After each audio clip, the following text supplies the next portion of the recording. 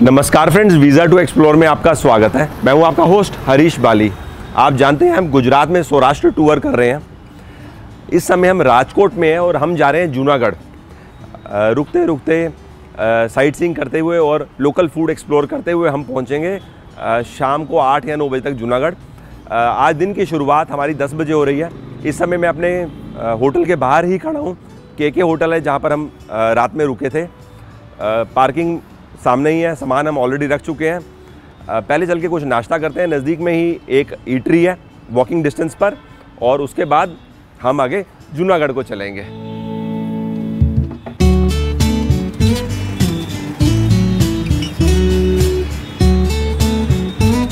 इस समय हम श्री हरि नमकीन पर पोहा खाने के लिए आए हैं। मैंने अपने लिए एक पोहा, एक प्लेट पोहा ले लिया है। ये पोहा ना इंदौरी स्टाइल में तैयार किया गया है। इसका मतलब यह है, इसमें मीठा नहीं है। आपकी जानकारी के लिए इस समय हम कोटीचा चौक के पास खड़े हैं। यहीं से हमारे को मिग 27 दिखाई दे रहा है। मैंने कल भी आपको बताया था कि मिग 27 जो रिटायर हो गया है, वो यहाँ पर पब्लिक व्यूइंग के लिए रखा गया है। चलिए पोहा टेस्ट करते हैं। मेरे को याद है, जब मैं इंदौर गया था तो वहाँ पर हमने देखा था पोहे पे, पोहे के ऊपर इस तरह से सेब डालते हैं, बूंदी डालते हैं, प्याज होता है और जीरावन मसाला साथ में नींबू होता है। चलिए जी।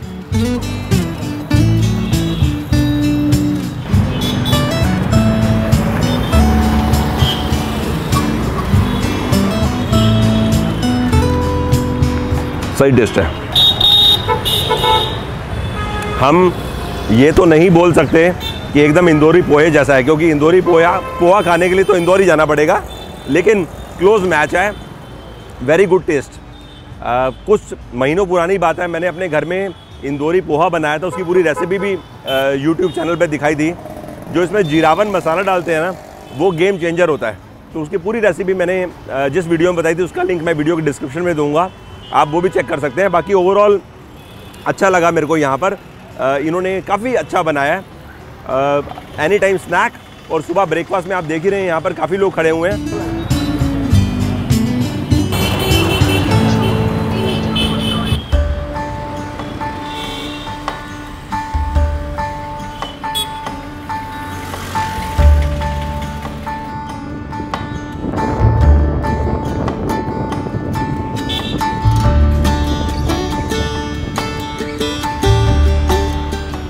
हम राजकोट से चले और 40 किलोमीटर का सफ़र करके गोंडल पहुँच चुके हैं। यहाँ पर श्री स्वामी नारायण जी का मंदिर है।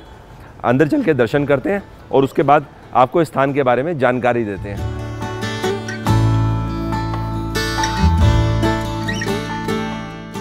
मंदिर के अंदर जाकर हमने स्वामी नारायण जी और श्री घनश्याम महाराज जी के दर्शन करें। टेंपल का आर्किटेक्चर बहुत अच्छा है। मंदिर में जब हम गर्भगृह के अंदर गए और हमने ऊपर की ओर देखा तो बहुत खूबसूरत पेंटिंग्स देखने को मिली। यहाँ पर आके काफ़ी अच्छा लग रहा है। ये पूरा कॉम्प्लेक्स काफ़ी ज़्यादा बड़ा है और नीट एंड क्लीन है। यहाँ पर बेसमेंट में अक्षर डेयरी है। श्री गुणातीतानंद स्वामी जी की ये समाधि स्थली है। यात्री यहाँ पर अक्षर डेयरी के दर्शन करने दूर दूर से आते हैं। जब आप राजकोट आएँगे या राजकोट से आप जूनागढ़ को जा रहे होंगे तो आप भी यहाँ पर ज़रूर आइएगा, आपको काफ़ी अच्छा लगेगा। अभी हमने दर्शन कर लिए हैं। कुछ समय अभी हम गोंडल में और रहेंगे, फिर आगे हम जूनागढ़ को जाएँगे।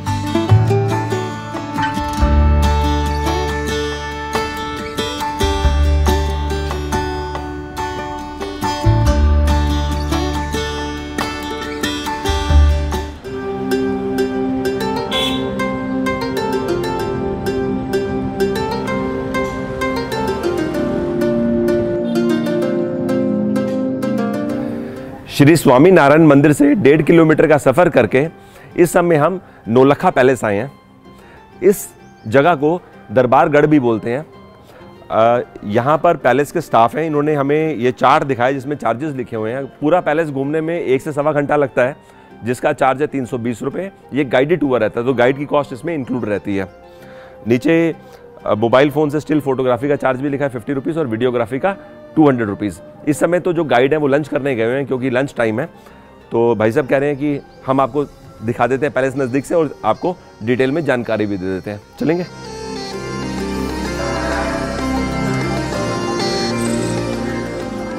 आपकी जानकारी के लिए गोंडल में पहले गोरियों का रास्ता, उसके बाद यहाँ पर मुगल्स आए, फिर अंग्रेज़ आए, उसके बाद यहाँ पर सर भगवत सिंह जी ने यह पैलेस बनाया। अब इसका नाम नवलखा क्यों पड़ा, इन्होंने बताया कि इसको बनाने में नौ लाख रुपए खर्च हुए थे। इसकी वजह से इस पैलेस का नाम बन गया नवलखा। और 1748 में आपने बताया ये पैलेस तैयार हुआ।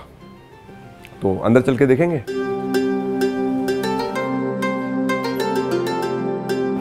इस हॉल में एंटी कलेक्शन है।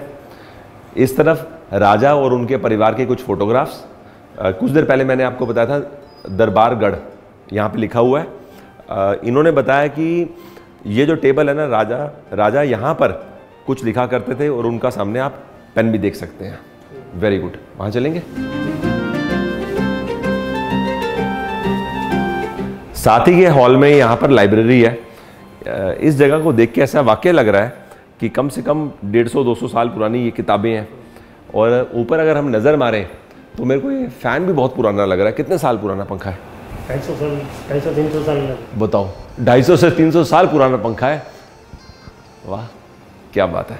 चलिए उधर चलते हैं। इस सेक्शन में कुछ अंग्रेज़ों के स्टैचू यहाँ पर आप फ़ोटो देखो हॉर्स विद सिल्वर ऑर्नामेंट्स घोड़े के ऊपर जो काठी होती है ना वो सामने देखिए। चांदी की अब जो प्रिजर्व इन्होंने करी हुई है सामने आप वॉल पे देख सकते हैं। आइए। आपकी बात से मैं समझाऊं राजा यहाँ पर रहते नहीं थे। ये जगह उनका एडमिनिस्ट्रेटिव ऑफ़िस था।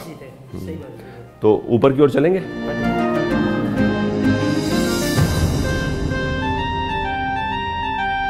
सर भगवत सिंह जी को मिलने अगर कोई राजा आता था तो वो यहीं पे बैठा करते थे सामने।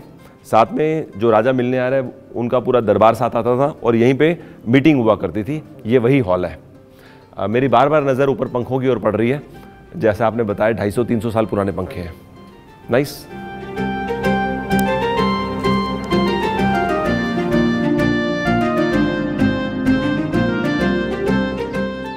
अभी हम एक और सेक्शन में आए हैं।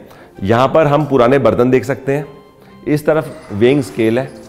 गोंडल की पब्लिक ने राजा को सोने से तोला था। उसके बाद जो उसकी रुपी वैल्यू निकली, उतनी रुपी वैल्यू के राजा ने स्कूल, कॉलेज, हॉस्पिटल बनवाए। यहाँ पर कुछ इन्फॉर्मेशन उसके बारे में लिखी हुई है। यहाँ पर ये नहीं मैंशन लेकिन जितनी हमें जानकारी है, इंडिया में अंडरग्राउंड इलेक्ट्रिसिटी सबसे पहले गोंडल में आई।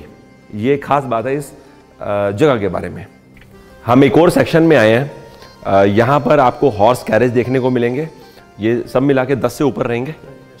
वेरी गुड कोई भी पैलेस विज़िट करो तो सबसे अच्छा लगता है पैलेस का आर्किटेक्चर देखना। दूसरी चीज़ किसी भी पैलेस के टॉप फ्लोर से जब आप नीचे की ओर देखते हैं तो वो भी अच्छा लगता है। यहाँ पर टॉप फ्लोर ज़्यादा ऊँचा नहीं है। इस समय जैसे हम सेकेंड फ्लोर पर खड़े हैं और हम नीचे की ओर देख रहे हैं। आ, हमने ये पूरा विज़िट लगभग आधे घंटे में किया। अब आपको मैं कुछ कुछ डिस्टेंसेस के बारे में बता देता हूँ। अगर आप सोमनाथ जी जाना चाहते हैं तो यहाँ से 160 162 किलोमीटर्स का डिस्टेंस है। जेतपुर यहाँ से 35 किलोमीटर्स दूर है। जेतपुर से पहले वीरपुर आएगा यहाँ से कितना? वीरपुर 20 किलोमीटर। हम्म। तो कायदे से तो हमको वीरपुर होते हुए जेतपुर जाना चाहिए लेकिन जेतपुर में हम साड़ी देखना चाहते हैं। साड़ी का डाइंग का काम कैसा होता है? चार बजे के बाद यूनिट्स बंद हो जाती हैं। तो हम पहले यहाँ से जेतपुर चलते हैं। साड़ी का काम देखेंगे। फिर लौट कर हम वीरपुर आएँगे, फिर जाएँगे हम जूनागढ़ को। भाई साहब, आपका धन्यवाद। आपने समय दिया। ठीक है। आइए, चलते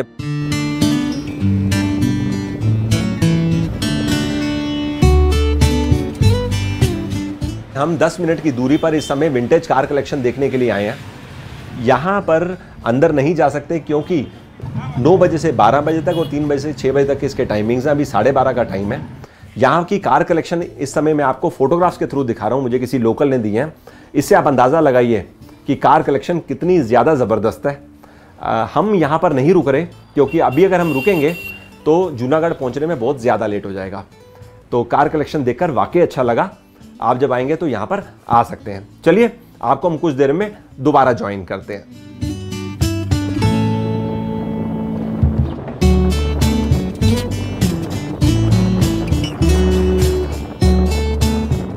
गोंडल में फायर ब्रिगेड के सामने सुरेश परोठा हाउस है। अभी हम यहाँ पर आए हैं। फ़र्स्ट फ्लोर में यहाँ चल के लंच करेंगे।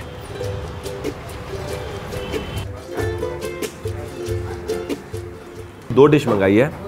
एक तो सेब टमाटर और साथ में लहसुन या आलू ये आप देख रहे हैं पराठा। मैंने आके इनके किचन देखने के लिए गया था। तो पराठे को ना शैलो फ्राई करते हैं। बेसिकली गेहूँ के आटे से ही ये तैयार हो रहा है, लेकिन इसको शैलो फ्राई किया जा रहा है। चलिए जी, सबसे पहले सब्ज़ी टेस्ट कर लें।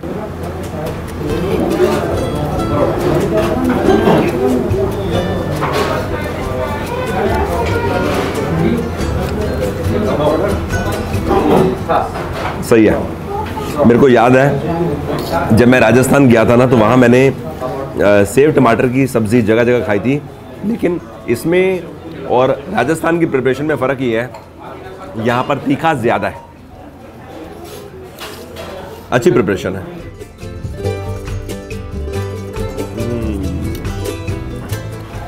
टेस्ट मेरे को काफ़ी अलग लग रहा है और ओवरऑल कह सकते हैं मज़ेदार है।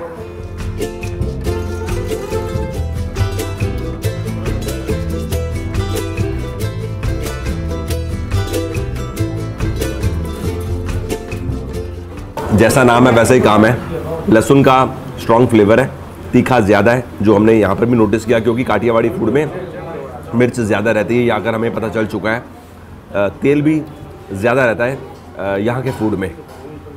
चलो, इसको धीरे धीरे फिनिश करते हैं। फिनिश करने से पहले मैं आपको बता देता हूँ कि इन्होंने ना टेबल पे तीन किस्म के अचार भी दिए हुए हैं। लहसुन का अचार, खट्टा अचार और मीठा अचार। साथ में कुछ सैलड भी है। ओवरऑल यहाँ आके मेरे को एक और चीज़ पता चली है, इस रेस्टोरेंट की बात कर रहा हूँ। बारह बजे ये लोग ओपन करते हैं और तीन बजे क्लोज़ कर देते हैं। अगर जो इन्होंने प्रिपरेशन करी है, आधा घंटा पहले फिनिश हो जाए तो ढाई बजे क्लोज़ कर देते हैं। तो शाम के समय यहाँ पे फ़ूड नहीं मिलता। और काफ़ी पुराना जॉइंट है। मुझे यहाँ जो स्टाफ है वो बता रहे थे कि लगभग चालीस पैंतालीस साल से ज़्यादा पुराना ये फ़ूड जॉइंट है। फ़ूड फिनिश करने के बाद मैं श्रीखंड खाऊँगा लास्ट में।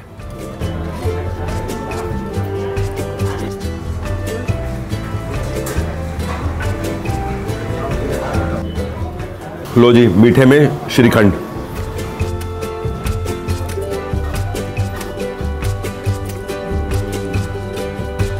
अब सोचो, श्रीखंड में पाइनएप्पल का स्वाद कितना ज़बरदस्त है। लवली।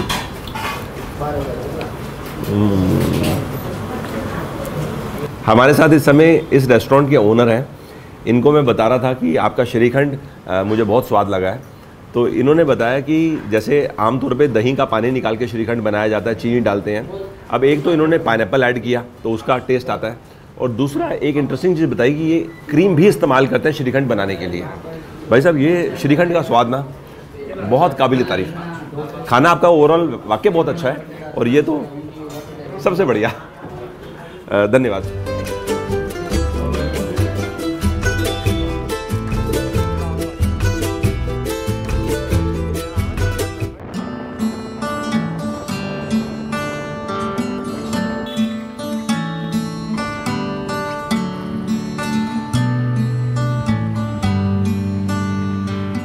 हम जेतपुर पहुँच चुके हैं। जैसा मैंने आपको कुछ देर पहले भी बताया था कि जेतपुर में स्क्रीन प्रिंटिंग का काम होता है। काफ़ी लोग हैं जो साड़ी के इस काम में डायरेक्टली या इनडायरेक्टली एम्प्लॉयड है। इस समय हम यहाँ पर मार्केट में ही एक शॉप है कल्याणी कलेक्शंस यहाँ पर आए हैं। मैम है, हमारे साथ जो शॉप की ओनर है। तो हम आपके पास ना बंदेज का काम देखना चाहते हैं। उसके बारे में कुछ जानना भी चाहते हैं। साथ में आप लोग के यहाँ पर जो यूनिट है, इसमें बंदेज का काम भी होता है? नहीं पीछे मेरा प्रिंटिंग का यूनिट है और बंदेज का और जगह अच्छा। सबसे पहले हम स्क्रीन प्रिंटिंग का काम देख लेते हैं हाँ। और उसके बाद यहाँ आके आपका जो जो रेडी स्टॉक है उसके बाद देखते हैं। रेडी स्टॉक दिखा दूँ और कैसे मैन्युफैक्चर होता है वो भी हाँ जी तो यहाँ से जाएँगे? हाँ यहाँ से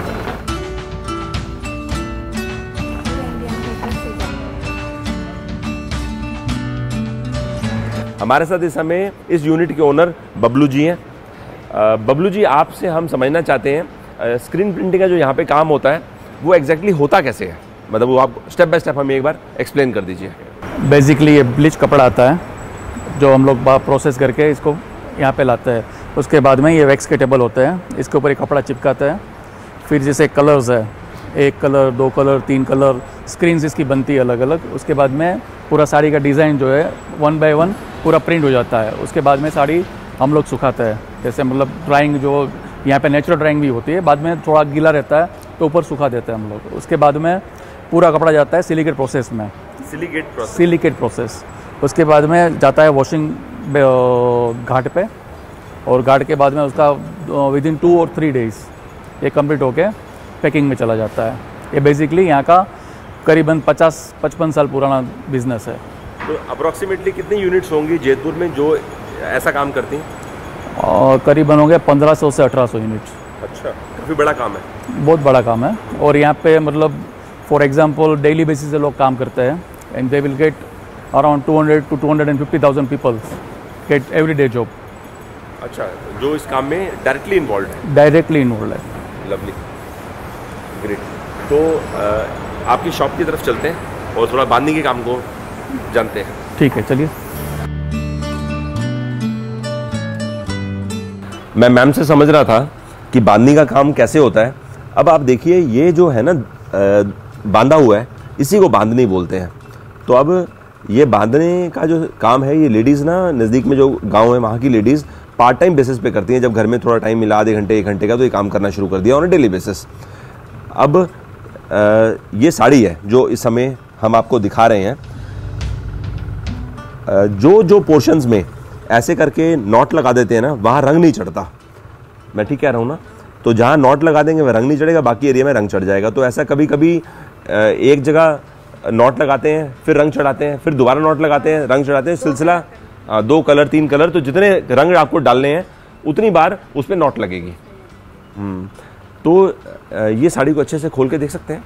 तो अभी साड़ी की लेंथ कितनी रहती है? साढ़े पाँच मीटर? साढ़े पाँच मीटर। अच्छा अभी जैसे ये हमें चुन्नट से लग रहे हैं साड़ी में तो इसके लिए क्या करना होगा? इसको इसके लिए रोल प्रेस करवाना पड़ेगा। रोल प्रेस रोल प्रेस करने के बाद स्ट्रेट होती है ये। उसके बाद ही पहनी जाती है ये। अच्छा अभी जैसे इसमें जो लगे हुए हैं नॉट्स ये नॉट्स कैसे हटाएँगे? आप ऐसे ही बेचते हो ना साड़ी तो? नहीं हम खोल के देते हैं। नॉट्स को तो एक बार देख सकते हैं नॉट्स कैसे खुलते हैं? सारे हम आपको खोल के दिखाते हैं। देखो ऐसे खोलते हैं। धीरे से खोलने चाहिए। अच्छा वो क्रॉस करके आप खींच रहे हैं? करके ही खींचना तो सारे सारे नॉट्स आपके निकल सारे नोट्स निकल जाएँगे। गए वाह। अच्छा अब देखो ये थोड़ी देर पहले हम इसको देख नहीं पा रहे थे यहाँ पर नॉट्स थे। अब ये डिज़ाइन बन गया। हाँ डिज़ाइन बन गया। ओके। बारीक- ये जो साड़ी आप दिखा रहे हैं इसकी क्या कीमत है? ये इलेवन थाउज़ेंड की है। ओह इसकी क्या कॉस्ट है? सत्रह सौ। सत्रह सौ। तो इसकी क्या कॉस्ट है? तीन हज़ार। तीन हज़ार। तो अब जो ये डिज़ाइन यहाँ पे दिख रहे हैं हमें अ, ये रोल खोलने से पहले यहाँ पे नोट्स थी। हाँ, एक दो तीन चार। हाँ, तो अगर गिन लेंगे कम से कम सात आठ सौ नोट्स एक साड़ी में हो सकती हैं। हाँ। एक चीज़ बताइए जैतपुर एरिया में कितनी लेडीज़ होंगी अंदाज में जो इस काम को अपने घर से डायरेक्टली या इनडायरेक्टली करती हैं? बारह सौ से ज़्यादा लेडीज़ होगी जो अपने घर से काम कर रेगुलर बेसिस पे इन्वॉल्व है इस काम में। हाँ। तो बांधनी में ड्रेस मटेरियल भी है। हाँ, ये बांधनी में ड्रेस मटेरियल आएगा। ये कॉटन सिल्क में आता है पूरा। ये टॉप है उसका। ये बॉटम आएगा। ये टॉप हमने खोल के रखा है। ये बॉटम है उसका। ये पूरा बंधा हुआ है। अभी खोल के दिखाती हूँ वो। अच्छा। यानी बांधनी में जो ड्रेस मटेरियल की आपके यहाँ पे शुरुआत है वो थाउज़ेंड रुपीज़ से है। हाँ थाउज़ेंड रुपीज़ अब हम यहाँ से जा रहे हैं बुद्धिस्ट गुफा और वहाँ पहुँचने के लिए हमें लगभग 12 किलोमीटर का सफ़र तय करना है इस जगह से। तो आपको हम लगभग आधे घंटे में दोबारा ज्वाइन करते हैं। ठीक है मैम थैंक यू आपको।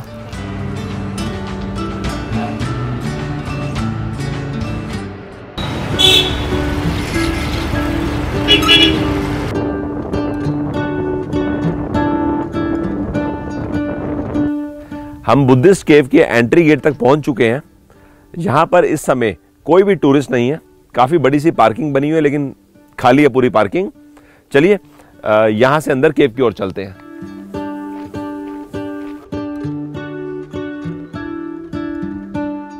हम केव के पास पहुँच चुके हैं। हमारे साथ इस समय यहाँ के एक लोकल पर्सन है। भाई साहब इस जगह का नाम क्या है? खम्बालीडा गाँव के बहुत गुफाओं के भाई। खम्बालीदा गाँव है जो ये एरिया लगता है। एरिया लगता है। तो यहाँ टोटल कितने केव्स हैं? पंद्रह है। पंद्रह। हमने सुना ये केव्स की जो खोज है हाँ। वो 1958 में पीपी पंड्या जी ने की थी। हाँ ठीक जो एक नोन आर्कियोलॉजिस्ट है। हम्म। आइए जी तो हमें आप केव्स दिखा सकते हैं? हाँ। अच्छा। ये तो हज़ारों साल पुराने लग रहे हैं। तो ये अभी किसी को पता नहीं है कि ये कब के हैं। तो यहाँ पर किसी समय बुद्धिस्ट मॉन्क जो होते हैं वो यहाँ पर प्रेयर करते होंगे रहते होंगे। हाँ, रहता है। पद्म पानी और लोकेश्वर पानी को दोनों की केव से जूनी बहुत में और अंदर एक टूप है भगवान का। स्तूप। स्तूप वो माना जाता है। पद इसका करता है मानसो। और तीन गुफा वो है। एक गुफा वो जूनागढ़ जाती है। वो टाणे बंद कर दी थी है। अंदर कोई खवाई गई आती आपका मतलब है यहाँ से गुफा का रास्ता होते हुए जूनागढ़ में जाता है। अच्छा जी। हाँ। अंदर चल के देखेंगे हाँ देखेंगे। ये टूप है टूप। स्तूप। टूप। हम्म। वो करता है मानसो इधर से अच्छा परिक्रमा करते हैं। परिक्रमा। तो ये कितने पुराने केव्स हैं इसके बारे में किसी को जानकारी नहीं है। नहीं तो जूनागढ़ यहाँ से 30 से 40 किलोमीटर तो होगा? तीस पैंतीस किलोमीटर तो पक्का हुआ। जूनागढ़ में जो ऊपर कोट है हाँ। और ये आपस में ज्वाइन था। था। अच्छा जी। हाँ। और आप लोग क्या काम करते हैं? हम लोग यहाँ काम करते हैं देख रेख रखते हैं सब साफ़ सफ़ाई सफ़ाई दोनों को ही करते हैं। हाँ ये बात अच्छी है कि अभी हम यहाँ पर आए हालाँकि टूरिस्ट भी कम है फिर भी साफ़ सफ़ाई एकदम परफेक्ट है। तो आप लोग इसका ध्यान रखते हैं। ध्यान रखते हैं। वेरी गुड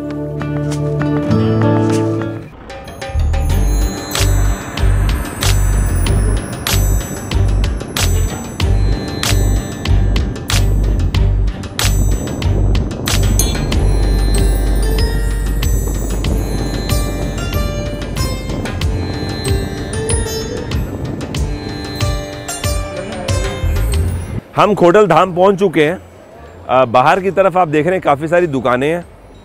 बहुत बड़ी पार्किंग बनी हुई है। चलिए, अंदर को चलते हैं।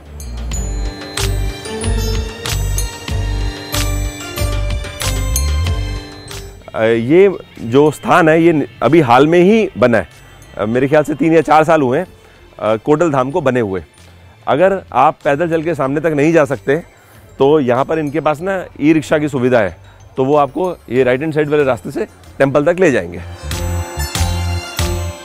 जैसा मैंने आपको कुछ देर पहले बताया था, ये टेंपल को बने हुए लगभग अभी चार साल पूरे हुए हैं। 2017 जनवरी में यहाँ पर जो राष्ट्रगान गाया गया, उस राष्ट्रगान का Guinness book of world record में नाम है। आज से पहले बांग्लादेश, ऐसी कंट्री थी जहाँ पर मैक्सिमम लोगों ने एक साथ मिलकर नेशनल एंथम गाया। लेकिन आज की तारीख में वो रिकॉर्ड इस जगह के पास है। एग्जैक्ट काउंट तो नहीं पता कितने लोग थे जो राष्ट्रगान गाने में इन्वॉल्व थे जिन्होंने एक ही समय पे गाया। अ, लेकिन एक रफ एस्टीमेट के हिसाब से पाँच लाख से ज़्यादा लोग थे। अ, जब भी आप वीरपुर आएँगे तो यहाँ पर ज़रूर आइएगा या इस रोड से भी आप आगे सोमनाथ जी जा रहे हैं तो आप यहाँ पर आके खोटल माता जी के दर्शन कर सकते हैं। लेवा समाज जो पटेल कम्युनिटी में एक समाज है उन्होंने ये टेंपल का निर्माण किया है। बहुत अच्छा लगा हमें यहाँ पर आके। अब हम यहाँ से वीरपुर की ओर जा रहे हैं।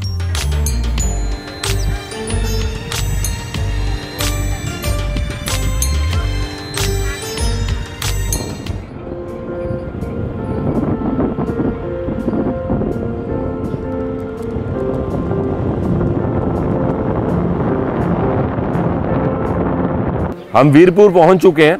यहाँ पर श्री जलाराम बापा जी का मंदिर है। हमें यहाँ से सीधा 200 से 300 मीटर अंदर की ओर जाना है। चलिए चलते हैं।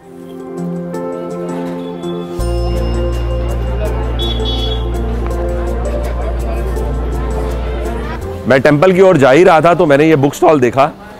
यहाँ पर आप जलाराम बापा जी की तस्वीर देख सकते हैं अ, कवर पेज पे। अ, मंदिर के अंदर फोटोग्राफी वीडियोग्राफी अलाउड नहीं है तो हम टेंपल के दर्शन आपको बाहर से ही करवाएँगे।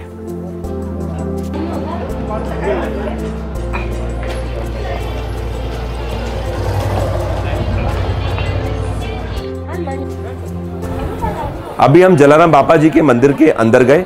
हमने उनकी चरण पादुका के बहुत खूबसूरत दर्शन करे। अंदर जाके मेरे को एक और चीज़ मालूम चली। थोड़ी पुरानी बात है, लेकिन ये समझ लीजिए कि जलाराम बापा जी को भगवान राम ने साधु के रूप में रूप में दर्शन दिए और जाते जाते उनको एक डंडा और झोली भेंट के रूप में दिया। हमने उस डंडे और झोली के भी मंदिर के अंदर दर्शन करे। जैसा मैंने आपको बताया, यहाँ पर फोटोग्राफी, वीडियोग्राफी अलाउड नहीं है तो आपको अपना मोबाइल फ़ोन या कैमरा क्लोक रूम में जमा कराना पड़ता है तो वो लोग डिपॉजिट कर लेते हैं। इस समय हम दर्शन करके बाहर आ चुके हैं। हमारे साथ यहाँ के स्थानीय रमेश भाई हैं। इनकी हम शॉप में ही खड़े हैं। रमेश भाई, हम जलाराम बापा जी के जीवन के बारे में आपसे कुछ जानना चाहते हैं, क्योंकि आप तो इसी जगह के निवासी हैं, वीरपुर के। सौराष्ट्र के सुप्रसिद्ध यात्रा धाम वीरपुर, राजकोट से 55 किलोमीटर दूर दूरी पर यह स्थित वीरपुर जलाराम का मंदिर है। संत शिरोमणि जलाराम बापा का एक महामंत्र था, देने को टुकड़ा भला, लेने को हरि नाम। उस लिए यहाँ पर जूनागढ़ और सोमनाथ के ऊपर जो साधु संत लोग जाते थे, तब भूखे लोग यहाँ से नहीं जाते थे। अन्न क्षेत्र का प्रारंभ आज से 201 साल पहले किए और उसके परिवार के पूज्य जयसुखराम बापा ने एक निर्णय लिया। ऐतिहासिक निर्णय वो था कि बेट सौगात और रोकड़ रकम का स्वीकार ये मंदिर में अब नहीं होगा। केवल जलाराम बापा का दर्शन कर सकते हैं और यहाँ जो मिलता है वो महाप्रसाद लेकर आप जलाराम बापा का आशीर्वाद लीजिए। जय जलाराम। विश्व का लगभग पहला मंदिर होगा कि वहाँ डोनेशन का स्वीकार नहीं होता है। मतलब इतने फंड्स हैं कि आप अगले कितने सालों तक चल जाएगा? कितने? सौ साल बसो साल तक चलेगा वो। आपका बहुत बहुत धन्यवाद। जय जलाराम। जय जलाराम। जब आप पार्किंग से टेंपल की ओर जा रहे होंगे या वापस लौट कर आ रहे होंगे आपको यहाँ पर लेमन सोडा जगह जगह देखने को मिलेगा। यात्री आते हैं दर्शन करते हैं उसके बाद लेमन सोडा पी के आगे चलते हैं। अ, मेरा अभी मन नहीं है। यहाँ से नज़दीक अभी हम चल रहे हैं आधा किलोमीटर के डिस्टेंस पर। वहाँ चल के भोजन प्रसाद खाते हैं। भोजन प्रसाद खा के हम बाहर की ओर आ चुके हैं। भोजन प्रसाद में यहाँ पर खिचड़ी, आलू की सब्ज़ी और कड़ी बहुत स्वादिष्ट। आप जब भी यहाँ पर आएँगे तो आप भी इसी स्थान पे आके भोजन प्रसाद ज़रूर खाइएगा, आपको बहुत अच्छा लगेगा। अब हम यहाँ से जूनागढ़ जाने को निकल रहे हैं। जूनागढ़ यहाँ से एक घंटे का रास्ता है डिस्टेंस अप्रॉक्सीमेटली 50 किलोमीटर्स आज का नाइट स्टे हमारा जूनागढ़ में रहेगा।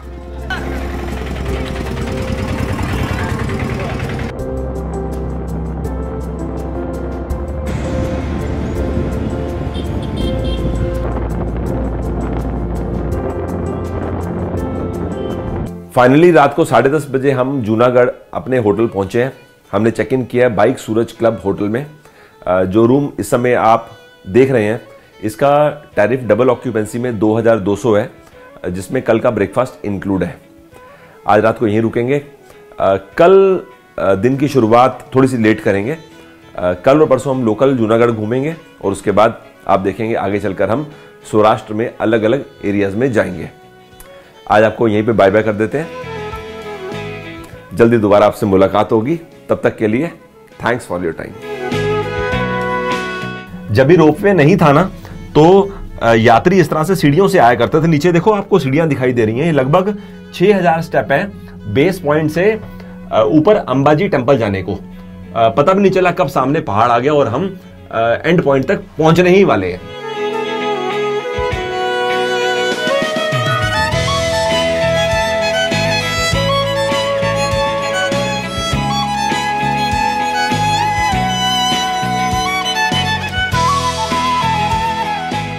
टोटल नंबर ऑफ़ आइटम्स 35 है। अब आ, कुछ चीज़ें तो मेरे को समझ ही नहीं आई तो इसलिए मैंने यहाँ पर शुरू करने से पहले जो यहाँ के रेस्टोरेंट के मैनेजर इनको बोला कि आप साथ ही बैठ जाओ जिससे कुछ पूछना रहेगा तो आपसे पूछते रहेंगे।